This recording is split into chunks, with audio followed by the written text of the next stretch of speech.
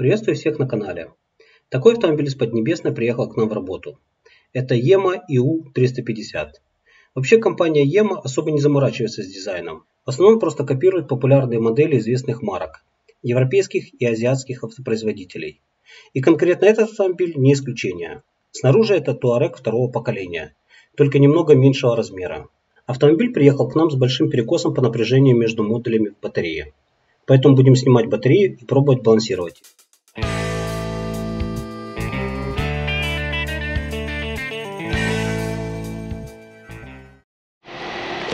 А вот так вот выглядит у нас эта ема снизу. Мотор с редуктором. И впервые вижу мотор, чтобы был такой вот прямоугольной формы.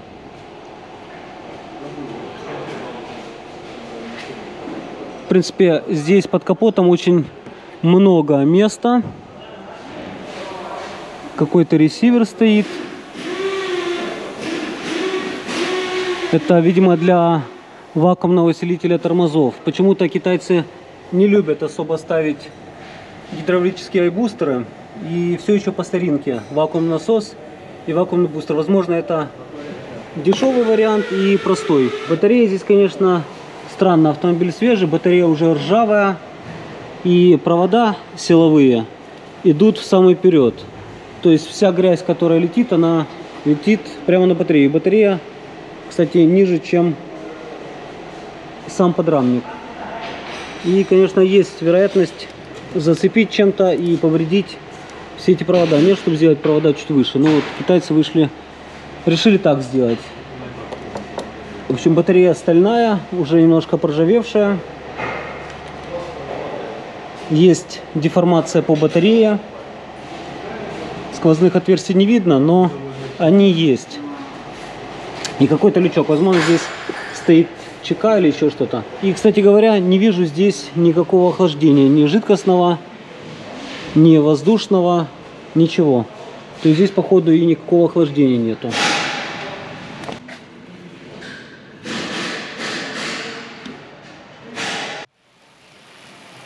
Сняли батарею, немножечко отмоем и будем скрывать ее.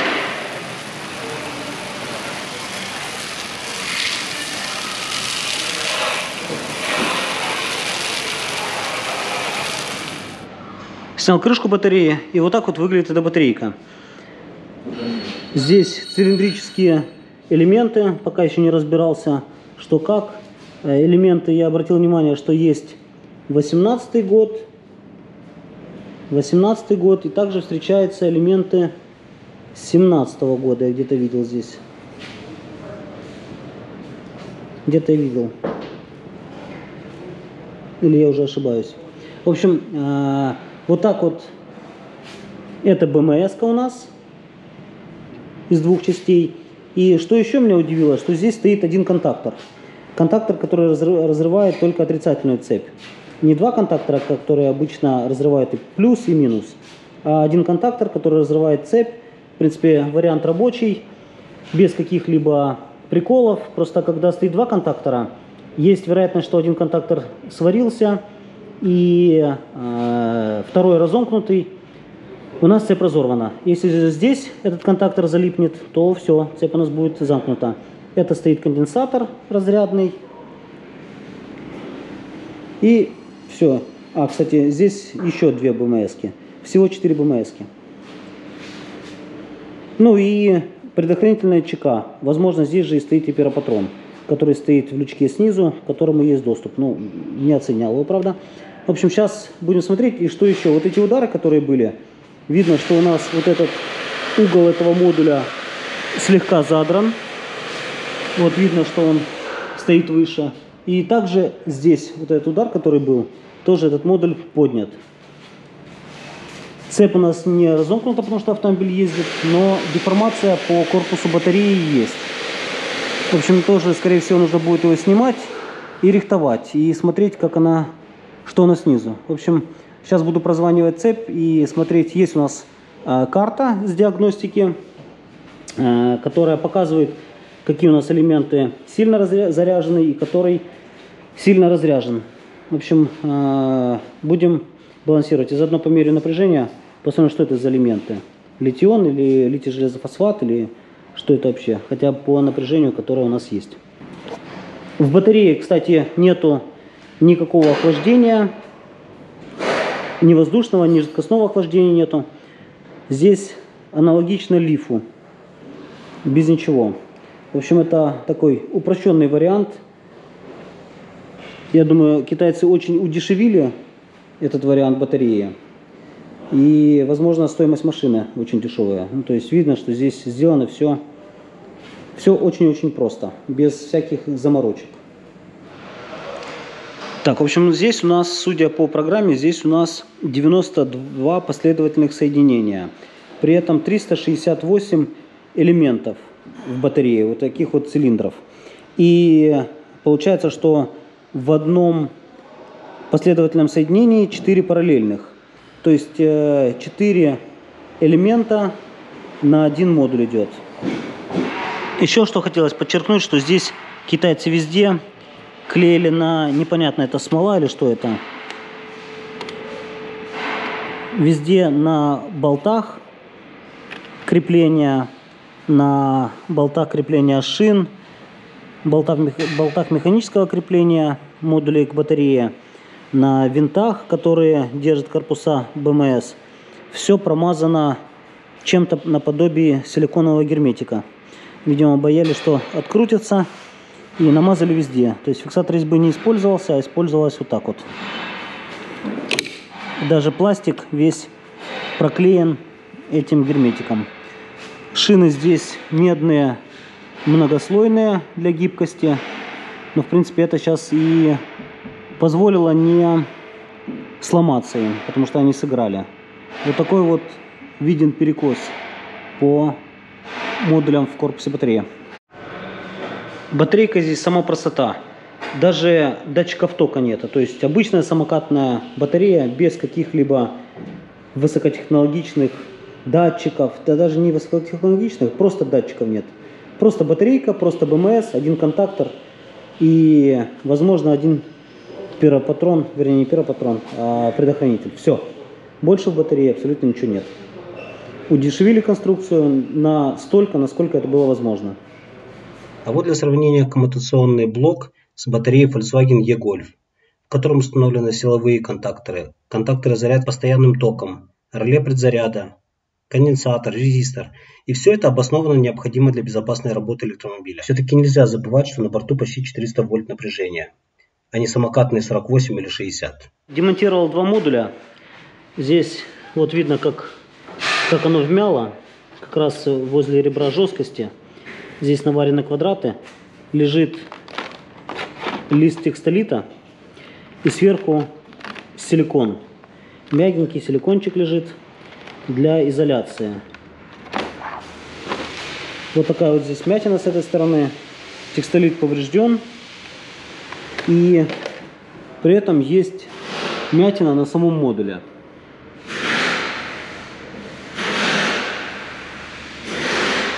На вот этом модуле мятина. Так вроде все остальные элементы целые. В общем, э, можно сказать, что в данном случае повезло, потому что я не знаю, э, воспламеняется ли эта химия или нет. Но тем не менее, один из элементов поврежден. Вот видно, как здесь вот это ребро, которое сбоку идет, тоже деформировалось. Нужно будет разбирать, смотреть, потому что там как-то шины пошли на перекос. Буду тоже э, откручивать их и смотреть. Этот модуль у нас не поврежден, который с этими мятинами. Но также у нас есть еще удар по следующему модулю. Вот видно, что здесь вырвало и крепление. И там может быть повреждение гораздо серьезнее. В общем, доберусь туда. И этот тоже модуль сниму. Сниму этот модуль и посмотрю что там снизу. И буду снимать тоже эти крышки и смотреть, что там. Потому что так вроде остальная часть батареи целая. И вот этот ребро, это даже не труба, а из листа согнуто и приварено к днищу. В общем, тоже это все рихтовать надо. Конечно, вот здесь явно видно э, стоимость производства. Особо не заморачивались с э, конструкцией. Все это собиралось Обычно модуль собирается, разъем подсоединяется и все. А здесь явно видно, что это не рассчитывалось на большое количество, потому что здесь больше ручного труда. В общем, это Китай больше, больше, больше для такой дешевый Китай, в общем так. Но при этом на всех шинах идут датчики температуры. Отслеживают температуру, чтобы не перегреться.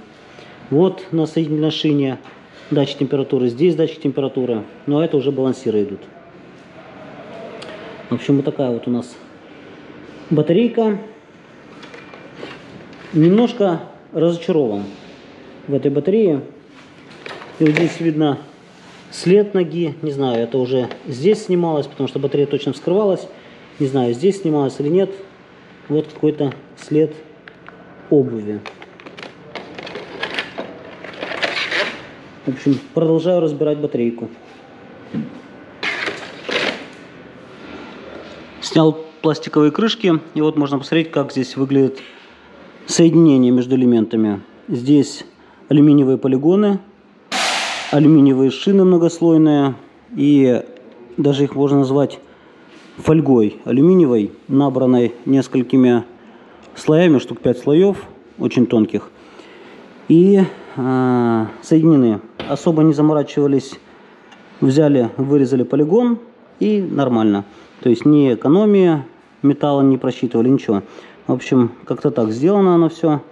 И вот видно, где было смещение, эта фольга деформирована, но, слава богу, не пострадала. Фольга приварена к полигонам с помощью сварки в виде такой буквы S.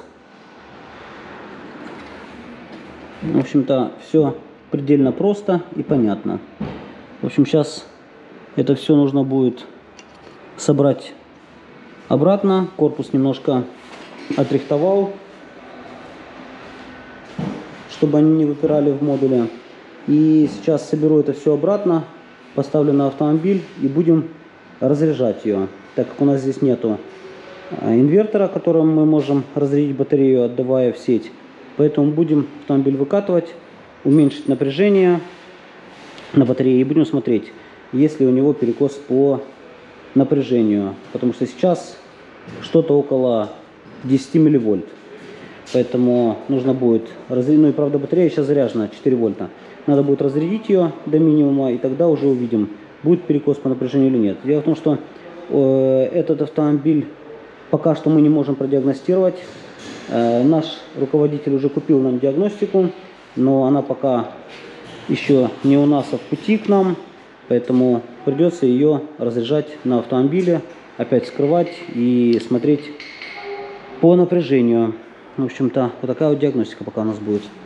Поработали мы с этой батарейкой, и вот что мы имеем в сухом остатке. Первоначально автомобиль приехал вот с, такой, с таким напряжением на элементах. Мы сделали таблицу.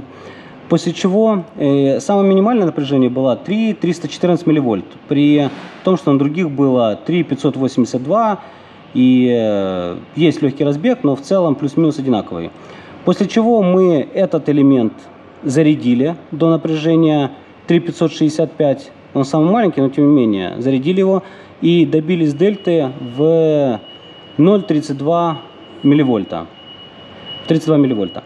И опять установили батарею, подкинули на автомобиль, включили кондиционер на час, автомобиль у нас поставил, поработал, и у нас этот элемент опять провалился по напряжению.